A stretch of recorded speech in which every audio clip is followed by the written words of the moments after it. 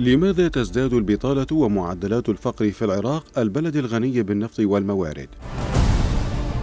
لماذا يراد حرمان الشعب العراقي من خيراته بينما يزداد الإثراء الفاحش للسياسيين؟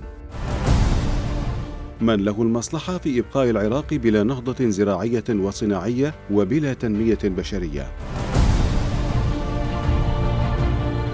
يأتيكم في برنامج تحت الضوء بعنوان البطالة والفقر في العراق وإثراء سياسي فاحش.